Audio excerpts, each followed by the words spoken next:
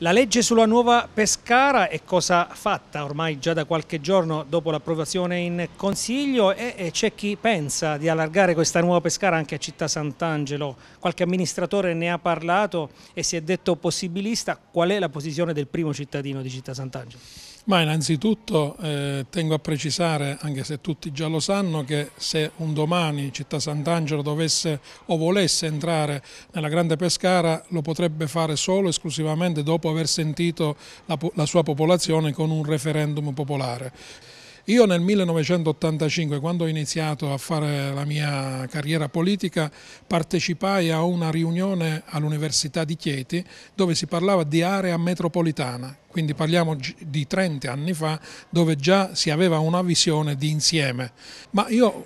porterei ulteriormente all'attenzione dei nostri telespettatori anche il fatto che esistono in, Italia già le città metropolitane, quindi già buona parte di queste cose già è legge. Quindi Città Sant'Angelo, avendo l'uscita Pescara Nord, avendo il polo commerciale forse il più importante d'Abruzzo, non è vero che farà la periferia della Grande Pescara, ma può giocare un ruolo importante per questo nuovo contesto, nuova, questa nuova configurazione eh, politica. Quindi